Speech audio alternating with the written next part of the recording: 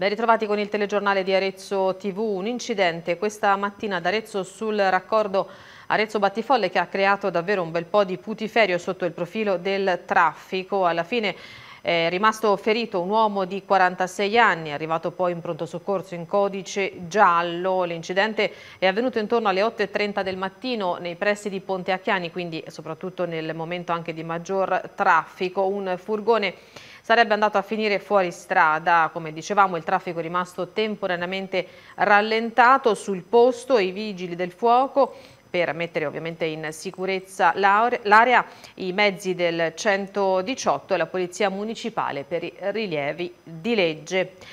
E ancora un furgone invece che ha preso fuoco sempre questa mattina lungo la strada che porta a Stroppiello, quindi siamo comunque sempre nei pressi di Arezzo. Intorno alle 11 l'intervento dei vigili del fuoco, appunto in località nord di Arezzo per questo veicolo in fiamme. Il furgone era accostato al lato della strada e il rogo stava iniziando eh, proprio in quel momento quando per fortuna sono arrivati appunto i vigili del fuoco e hanno evitato che le fiamme si propagassero anche in questo caso sul posto la polizia municipale per fortuna non ci sono stati feriti. Aveva ceduto droga ad un amico che poi era finito in overdose, eh, era poi scappato senza soccorrerlo. I carabinieri lo hanno rintracciato e denunciato. Era lo scorso 17 luglio quando a Castel San Nicolò un 43enne era stato salvato dai sanitari del 118 dopo una lunga manovra di rianimazione. Aveva infatti combattuto per oltre 15 minuti tra la vita e la morte a causa di un'overdose di eroina. A cedergli la dose un amico che era poi scappato senza chiamare i soccorsi. Adesso è stato individuato dai carabinieri della compagnia di Bibbiena. I militari erano intervenuti il giorno del malore, il 43enne si trovava esanime in un parcheggio isolato. Immediatamente Iniziate le indagini, gli elementi raccolti lasciavano presagire un valore dovuto all'uso di stupefacenti. Dopo aver ascoltato testimoni e ripercorso le ore precedenti all'overdose, i militari hanno identificato il giovane che gli aveva ceduto la dose, un 35enne casentinese che probabilmente, imparito da quanto accaduto, sarebbe scappato senza chiedere aiuto. Solo alcune decine di minuti più tardi, ritardando così di molto tempo i soccorsi, aveva avvisato i familiari della vittima indicandogli il luogo dove si trovava il 43enne. L'uomo adesso è stato stato denunciato per spaccio, lesioni e omissione di soccorso. Dopo la lunga scia di furti in Valdarno, che abbiamo anche noi raccontato nel nostro telegiornale, le categorie economiche del commercio, dell'artigianato e dell'industria del Valdarno Aretino hanno chiesto un incontro al presidente della conferenza dei sindaci Valentina Avadi, sindaco di San Giovanni Valdarno, per poi incontrare anche prefetto e questore. Più controlli e presidi nel territorio. Dopo la recente ondata di furti che ha colpito il Valdarno, le categorie economiche del commercio, artigianato ed industria della Vallata hanno infatti formalmente inviato una richiesta di incontro urgente con la presidente della conferenza dei sindaci Valentina Vadi per discutere il problema crescente della sicurezza. Negli ultimi giorni episodi criminosi ai danni delle attività commerciali hanno scosso la comunità di San Giovanni, fatti che sono stati segnalati anche a Montevarchi e in altre località del del territorio commentano le categorie economiche. La sicurezza dei cittadini e delle imprese è una priorità assoluta per le nostre associazioni, per questo richiediamo un intervento immediato per arginare l'escalation di violenza. La sicurezza, proseguono, è un diritto fondamentale e imprescindibile. Gli episodi che si sono verificati negli ultimi tempi, come spaccate alle vetrine, furti scasso, sono inaccettabili e richiedono una risposta decisa e coordinata da parte delle istituzioni. Siamo fiduciosi che la Presidente Vadi comprenda l'urgenza della situazione e collabori con noi per garantire un Valdarno più sicuro per tutti. Durante l'incontro, infine, ricorderemo alla conferenza dei sindaci di organizzare una riunione urgente con prefetto e questore per valutare misure concrete di potenziamento della sorveglianza sul territorio. Parliamo del grande caldo, l'Italia nella morsa delle alte temperature, allora dalle farmacie comunali arrivano i consigli anche per evitare danni proprio da questi raggi solari. Il sole eh, ci invia una grossa quantità di energia che è utilissima per eh, lo sviluppo della vita sulla Terra, senza il sole non esisterebbe, però può essere dannosa se colpisce in dosi eccessive la nostra pelle. Da una semplice irritazione, un eritema solare, fino ad arrivare invece a conseguenze più importanti. Il sole è un importante alleato del benessere psicofisico dell'uomo, ma una scorretta esposizione può anche causare l'insorgenza di ustioni, eritemi, invecchiamento cellulare precoce, sino alla comparsa di tumori. Gli ultravioletti che arrivano dal sole contribuiscono a quello che è il fotoinvecchiamento cutaneo. Eh, la nostra pelle, come tutti gli organi, invecchia, c'è un invecchiamento supplementare dato dal sole. Le rughe, le macchie, tanto per fare due esempi, sono accentuati dall'eccessiva esposizione solare. I problemi grossi invece sono quelli che eh, non hanno solo una valenza estetica ma riguardano la nostra salute.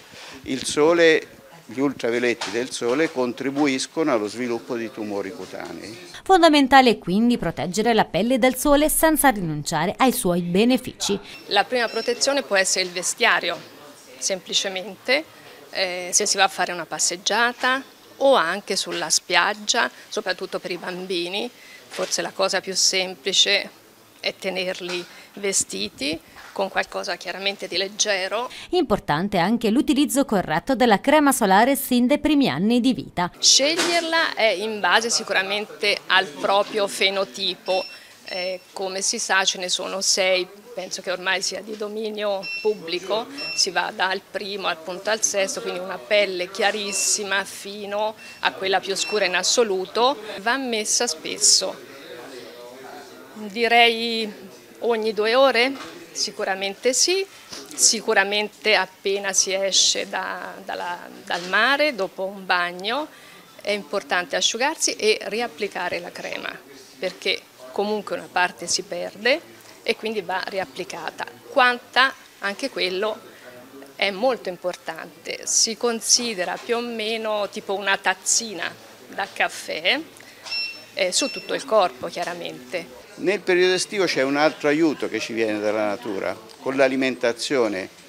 Frutta e verdura colorata, arancio, gialla, rossa, sono ricche di carotenoidi, di antiossidanti che in parte cercano di limitare quelli che sono i danni degli ultravioletti sulla pelle. La prevenzione dei tumori cutanei infine passa anche dallo screening dermatologico. Il controllo principale dovrebbe essere quello che ognuno fa a casa propria, cioè ogni tanto guardare la propria pelle, magari farsi aiutare da un familiare per eh, controllare le spalle, i glutei, dietro le cosce, zone che difficilmente si esplorano da soli e controllare che non ci siano cose nuove, lesioni nuove, soprattutto differenti dalle altre che uno eh, diciamo, impara a, a conoscere guardandosi ogni tanto. E poi un controllo annuale con una visita dermatologica e una visita con il dermatoscopio per il controllo dei nei, devo dire che è un'ottima prevenzione e serve soprattutto alla diagnosi precoce. Tempo di estate tempo indubbiamente di turismo sotto il profilo dell'incoming, quindi dei turisti che comunque scelgono il nostro territorio. Sono davvero confortanti i dati diffusi dall'IRPET nelle scorse ore. La Toscana è pronta a sorpassare i livelli raggiunti prima della pandemia, quindi parliamo del 2019, il turismo è indubbiamente uno dei motori eh, dell'economia toscana, guai a sottovalutarlo, ha detto il presidente della regione Eugenio Giani, ma proprio dai dati IRPET emerge che invece il turismo interno ancora soffre. La Toscana in termini di turismo è pronta a superare i livelli pre-pandemia, a dirlo sono i dati IRPET diffusi nelle ultime ore sulla congiuntura 2023-2024. Il 2023 ha segnato, in linea con tutto il resto del Paese, il completo recupero dei livelli di presenze turistiche precedenti alla pandemia, con un più 8,8% sul 2022, registrando anche buone notizie per il mercato del lavoro con un'espansione degli occupati e meno precarietà. Ma sono i primi cinque mesi del 2024 a lasciar prefigurare il definitivo superamento dei dati pre-pandemici, grazie ad un solido più 3,1%.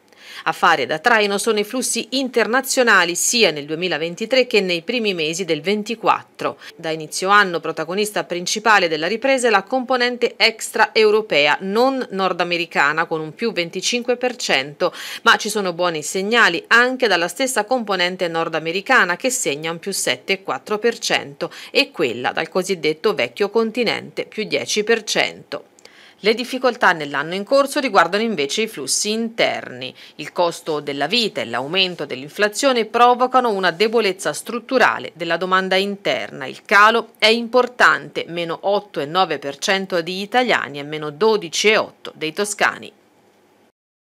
Dopo un sit-in di protesta e tempi davvero molto lunghi per la sua ristrutturazione, oggi è stato riaperto al pubblico il parco di via Acuto ad Arezzo. Dopo due anni di lavoro oggi inauguriamo e apriamo eh, questa nuova area verde alla cittadinanza di questo quartiere, un'area che da tempo era aspettata e soprattutto eh, non si vedeva l'ora proprio di poter accedere a quest'area che ha una veste completamente nuova. La riapertura era attesa ormai da tempo, tanto che i residenti nei mesi scorsi avevano anche organizzato sit-in di protesta. Adesso finalmente è stato restituito alla cittadinanza il parco pubblico di via Giovanni Acuto, un'area di 19.000 m2 completamente recintata. L'investimento ammonta a 2 milioni di euro completamente finanziati dal bando per la rigenerazione urbana e la riqualificazione delle periferie. Comprende uh, attività sportive all'aperto, abbiamo dei nuovi campi da calcetto, un campo eh, da basket, delle attrezzature per i più piccoli e per i più grandi e per le attrezzature eh, sportive all'aperto. Quindi eh, un'area che verrà vissuta in maniera completamente diversa rispetto a quello che era prima anche l'attenzione che i cittadini ci mettevano, era un'area verde semplice che oggi ha molti servizi, abbiamo anche eh, appunto un servizio di ristorazione gestito da un privato, un'area verde che sarà pubblica, è aperta tutto al pubblico e quindi gestita come tutti gli altri parchi del comune che però eh, sicuramente avrà una veste nuova in un quartiere che aveva necessità di questi spazi. L'aria è anche inclusiva ed accogliente, è infatti priva di barriere architettoniche e al suo interno comprende percorsi tattili di nuova generazione per i povedenti. Credo che sia una buona risposta alle esigenze della, della città quindi del, dei cittadini, soprattutto di Pescaiola, di San Donato, di Tortaia. Questa è un'area verde baricentrica, piena di servizi, usufruibili da tutte le, le categorie diciamo, di, di, di, persone. I campi da calcetto, gli spogliatoi e il punto ristoro sono stati infine affidati a seguito di un apposito bando ad un gestore privato che ne permetterà lo sviluppo. Il resto dell'area invece rimane ad uso pubblico e a disposizione per tutti i cittadini. Cercheremo di fare il nostro meglio, di presentarsi meglio possibile anche per uh, i signori qui intorno della zona che ci hanno uh, sostenuto e ci hanno dato dell'appoggio morale. È solamente l'inizio in questo posto. Siamo alla pagina della cultura poliedrico e dall'umorismo tagliente. Sarà Alessandro Benvenuti ad illuminare l'agosto teatrale di Arezzo Smart Festival, un progetto di Officine della Cultura. L'artista, dalle tante doti, con un legame profondo con la sua toscanità, salirà sul palco dell'Arena Eden di Arezzo lunedì prossimo 5 agosto con il suo spettacolo Pillole di me, memorie comiche di Alessandro Benvenuti, una produzione Arca Azzurra. L'inizio dello spettacolo è previsto per le 21.15. Con il prossimo servizio invece ci spostiamo a Monte San Savino dove oltre 150 ragazzi si stanno perfezionando in delle masterclass di musica classica.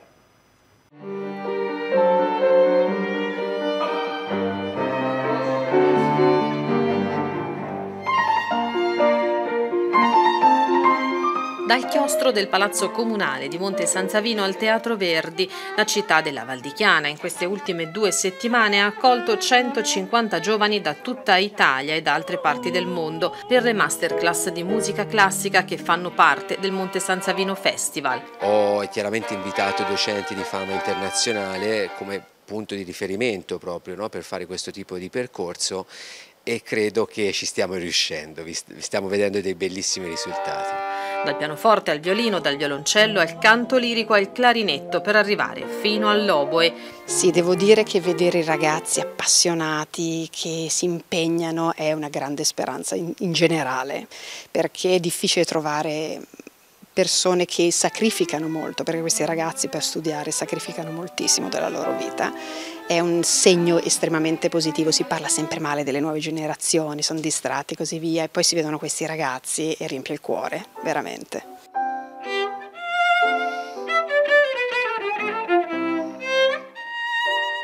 I giovani hanno scelto di vivere due settimane immersi nella bellezza della musica e dell'arte, puntando sulla musica classica.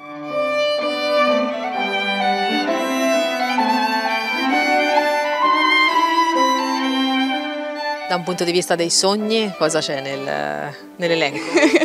Beh, sicuramente spero che la musica faccia parte della mia vita per, per sempre, insomma, eh, che poi eh, voglia diventare un lavoro oppure che rimanga comunque solo come una passione, un hobby, ma l'aspirazione sarebbe appunto quello di farlo diventare un lavoro e quindi di suonare in un'orchestra magari un domani.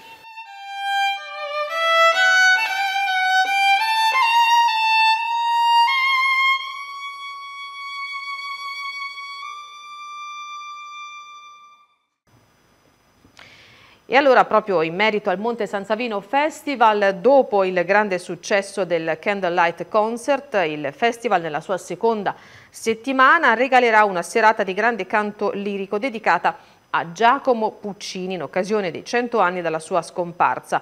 Venerdì 2 agosto nel chiostro del Palazzo eh, di Monte San Savino alle 21.15 con ingresso gratuito due grandi interpreti del canto lirico come Laura Cherici e Bruno Lazzaretti si esibiranno assieme ad alcuni allievi appunto di queste masterclass in un galà lirico interamente dedicato alle musiche di Puccini.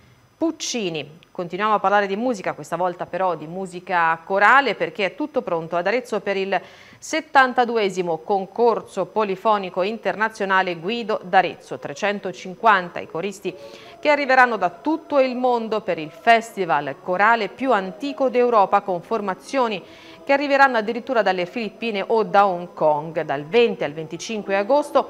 Nei luoghi più suggestivi della città di Arezzo si terranno concerti, concorsi, convegni e masterclass nel Parco della Fortezza Medicea, poi si svolgerà il 39 Festival internazionale di canto popolare. Sarà un agosto davvero di grandi iniziative anche alla Casa Museo Ivan Bruschi. Si parte sabato 6 agosto in concomitanza con la fiera antiquaria dalle 20.30 alle 22.30, un'apertura speciale ad ingresso ridotto per le notti dell'archeologia con visite guidate alla scoperta della vasta sezione archeologica proprio della collezione Bruschi. Domenica 4 agosto poi torna domenica al museo, quindi entrata gratuita in linea con le quattro sedi di Galleria d'Italia, del Polo Museale d'Intesa San Paolo e soprattutto con le iniziative del Ministero della Cultura. Martedì 6 agosto alla vigilia della festa del patrono di Arezzo, la Fondazione Bruschi propone invece alle 21.15 un'apertura straordinaria della Casa Museo con musica jazz e degustazioni di vino. Mercoledì poi 7 agosto, in occasione proprio di San Donato, una visita guidata tematica ogni ora proprio con approfondimento sulla figura di San Donato, tutti appuntamenti che necessitano di prenotazione, quindi potete rivolgervi, rivolgervi appunto alla Casa Museo